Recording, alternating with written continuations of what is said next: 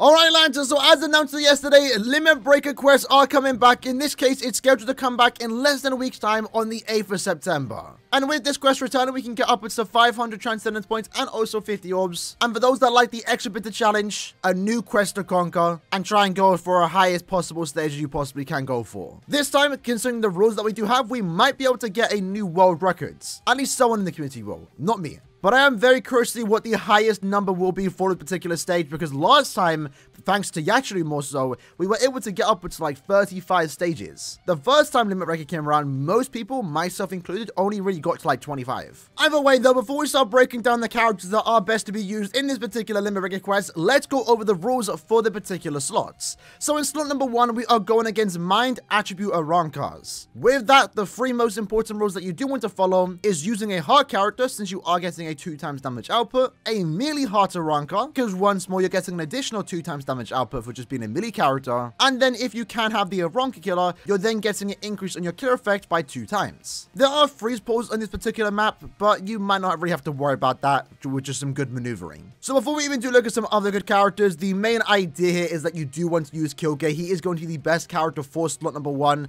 one of the best characters for Limit Breaker period, right? He has the Rampage skill, 3 melee collision attacks, but most importantly, he recovers every heart character's recharge by 20% every time you move into another map. That is going to be absolutely insane in any Limit Breaker quest, especially right now where this slot number one is basically designed for him. And there's definitely some other good characters you can bring if you don't have him. And keep in mind, the main important rules that you do want to follow is rule number one and also number two, because in that case, they're both giving you a two times damage output. The killer effect is the least increase. So first and foremost, you're always going to want to bring a heart melee character. And if you then can fulfill the killer role, then go for that. Next up in slot number two, we are going against heart no affiliation enemies. And the rules include melee damage times two and killer effect times five. Ideally, in this case, you want to bring 8th Anniversary Whites. And then lastly, we have slot number 3, where we're going up against Technical Arrancars. Now remember, for those that missed the update that we did get last month, slot number 3 is the flex spot. You don't have to meet any rules here, realistically, just bring your best power character.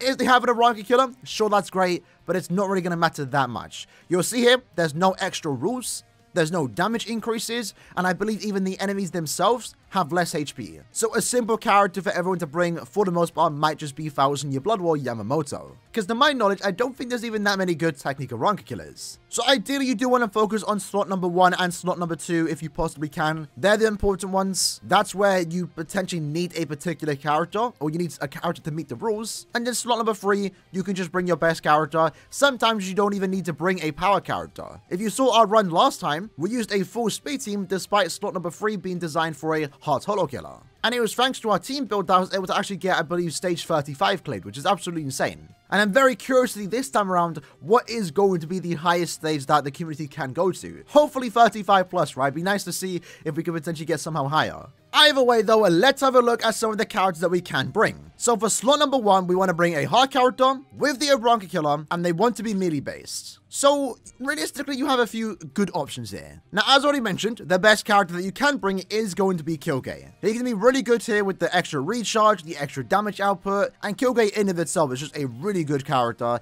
So if you have Kirge, if you did pull it, definitely do use him. There's no other better character.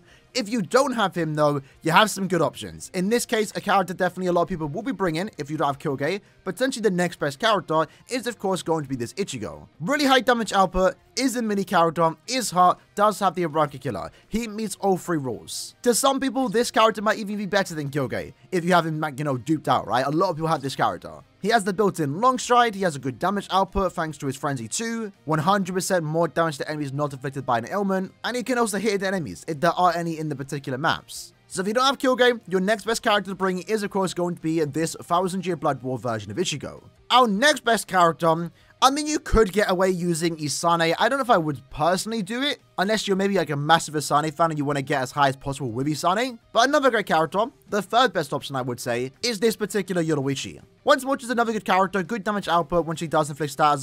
She is, for the most part, constantly going to be inflicting stat since she does have that increased chance to do so. That will let her get her SP boost. It will then apply weakening so she can do 50% more damage. That will be good against the enemies that have poise, that have like a really high damage output. She's the Yoruichi, so she is quite fast, has some good strong attacks. Depending on the map layout, which we will check in a minute, she might be really good in this quest. In fact, if I didn't have Kirge, I would probably be using her because I do have a max transcended, but I'm not really too sure to be fair. It doesn't take tickets to run Limit Breaker, so I'll definitely be doing a few different attempts trying out different characters. Other than that, I mean, again, there's some decent options, Isane, Shuhei, and even, you know, Zangetsu, but I personally wouldn't bring them. Your next best thing to do is just to disregard the Arrancar Killer and bring your then next best heart character.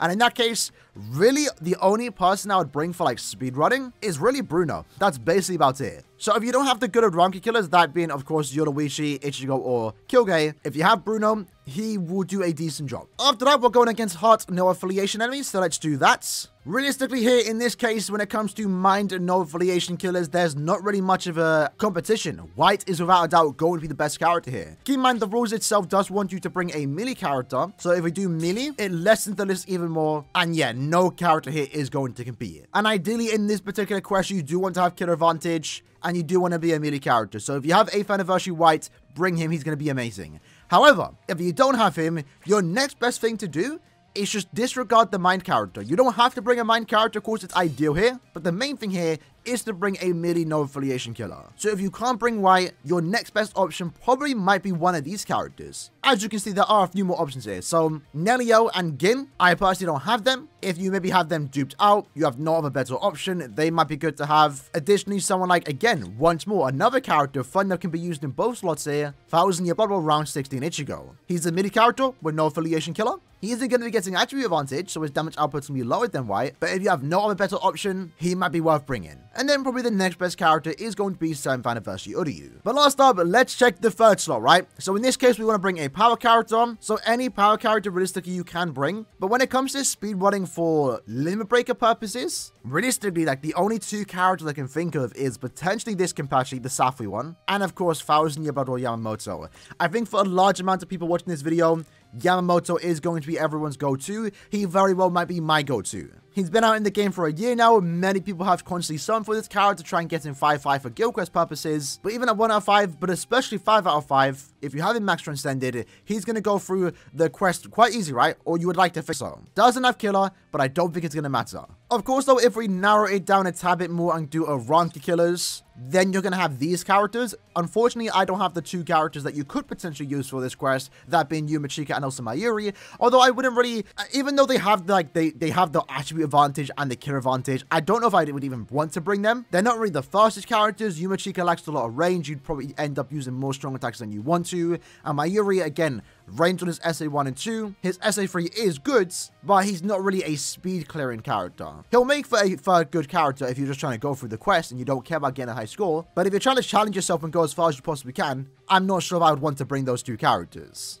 And I guess some old characters from the past, which is crazy to think about because they are like three years old at this point. Fifth anniversary Ichigo might actually do the job. Even Rukia, the Thousand Year Blood War round 14 version. Even Bruno, maybe. They're not going to be as good compared to newer characters with really high damage output, but maybe you have these characters in your box sitting there, max transcended. I know I do. Maybe there'll be a good third character. I'm not really too sure. Although one thing I do want to say is that there is a potential team that you can bring. Right now, we just need to figure out who's going to be good on the third slot. So, of course, number one is going to be Kirge, right? He's going to go through that quest super fast, but remember, every time you move to another map, he recovers every heart character's recharge by 20%. If you saw our team last month, we used a full speed team, and the idea was using Macy in the team to get everyone's strong attacks ready to go, even if we weren't using recharge links when they were next available. And we should be able to do the same thing potentially this time around too and it's mainly thanks to Kirge. So keep in mind, it's only possible if you do have Kirge. So for slot number one, you want to use Kirge, right? For slot number two, when we want to bring a no affiliation killer that is melee based, what you'll see here, Ichigo can be used here. Of course, White will be better, but in the idea of using a team, thanks to Kirge, every time you go into this particular map, Ichigo's strong attacks will be ready to go. Maybe due to that, you could go with a full stamina damage build, not really care about recharge because every time you next use him, his strong attacks will be back. These two will pair quite well together, and it might actually make for a good team. But that then brings us to the third character slot. This is kind of the iffy one since we do want to bring a power Arrancar killer. But maybe, mm, again, this is a big maybe, you might be able to get away using 6th Anniversary Aizen. You might be able to get away using Yoruichi. She does have killer. If you have her duped out, the better. I did, that's what you want to do. If you're doing a team like this, you want to have that third character max transcended. If you're trying to go for like the highest possible stage clearance. But yeah, she might be a good third character if you are using a full heart team with Ichigo and also Kirge. I definitely will be trying that team. But I think for most people, the convention conventional route will be slot number one, Kirge or Ichigo, maybe Yoruichi. Slot number two, you want to bring White, don't have him, or maybe bring Concord Ichigo. And then slot number three, you might be better off bringing either Ichigo, the 8th anniversary version, or Thousand Year Blood War Yamamoto. With that said though, on Twitter, they've actually showcased the map itself, showcasing Kirge more. Kinda cool they do do this. So let's quickly have a look at the actual map layout itself. Keep in mind the quality is quite bad because it is Twitter, but we can see we're in the uh, Arrancar map, right? So maybe we could actually go for Caleb's strategy here. So you can see they're using Kirge for slot number one. They're using white for slot number two. This looks to be quite a linear map, so maybe Concord Ichigo would be good here. Anyone with a beam really would be good. This map definitely will be annoying. Coincidentally, they're bringing Grimmjow. Okay, Okay, I mean, it's a weird one. I'm not sure why they're bringing Grimmjow. They also got burnt too, so this is going to be like their character that's bringing them down the most. Map layout, though, is looking quite fine thus far. Someone like, again, Yamamoto or Ichigo would be quite good here. Definitely don't do what man like Oliver's doing here, bringing a... bring in uh, Grimmjow. This map looks quite good. One SA beam or combination of a SA2 would be good there. Yo, look at that paralysis. That's kind of crazy. You definitely want to be immune to status on that particular stage. I mean, you can still kind of get around it. You would have to use like two strong attacks and flash step quickly out of it. This map, again, quite linear. A lot of linear maps, so characters with beam stay would be like, really good. That one looks quite easy. Barely any enemies there. One strong attack free from Yamamoto would probably be enough. So stage 7 is going to have the uh, little item where we can recover a bit of strong attacks. Oh, they're getting hit. Oliver's plebin. Oliver's plebing right now. That map also looks quite easy. I'm seeing some good potential here to get higher. So I think that right there was either all the stages or most of them. But map layout looks quite good, I will say.